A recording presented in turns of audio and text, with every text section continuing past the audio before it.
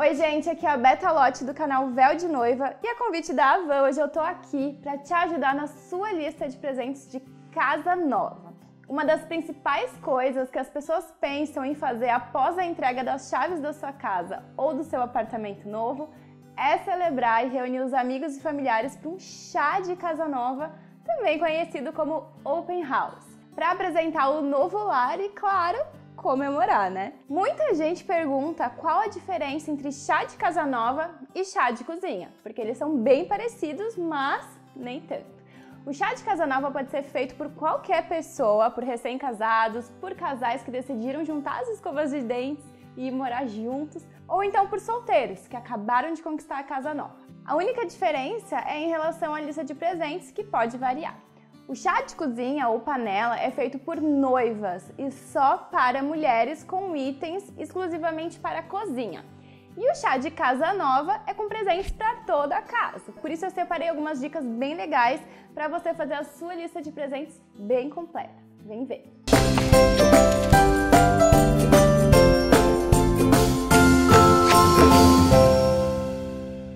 A lista de presentes para casa nova é justamente para te ajudar a montar a casa dos seus sonhos. Então você pode colocar na lista tudo aquilo que você precisa para sua casa, como itens de decoração, eletrodomésticos, utensílios para casa. Eu lembro que quando eu fiz a minha lista de casa nova, eu não sabia muito bem nem como e onde fazer a lista. E com o passar do tempo, eu fui percebendo que faltaram algumas coisinhas na minha casa. Então, a minha primeira dica é você pensar em cada setor da sua casa e o que você mais precisa. Por exemplo, na cozinha, lembra de colocar na sua lista jogo de copos e jogo de taças, um faqueiro maravilhoso. O faqueiro é uma coisa super bacana de se ter em casa, principalmente para ocasiões especiais, como jantar de Natal, Ano Novo, eventos em família. Se você precisar de algum eletrodoméstico, pode colocar na lista também. Batedeira, panela de arroz, eu amo panela de arroz, panela elétrica, enfim. Assim você vai pensando em cada setor da sua casa e vai criando a sua lista de presentes pensando na decoração, nas cores, no estilo, deixar tudo especificadinho. Fazer uma lista de presentes é bem mais fácil do que parece e você não precisa nem sair de casa se você não quiser. Você pode acessar o site da Avan ou baixar o aplicativo da Avan, que se chama Listas de Presentes Avan no seu celular e criar uma lista. Com o aplicativo, você pode adicionar todos os itens que você quer e também pode escolher os produtos em uma loja física. Muito simples, usando a câmera do seu celular para escanear o código de barras e adicionar mais produtos na sua lista. É bem simples de fazer. Você vai criar um login e senha e a partir daí o aplicativo já te ajuda com a gestão de tarefas para o seu evento.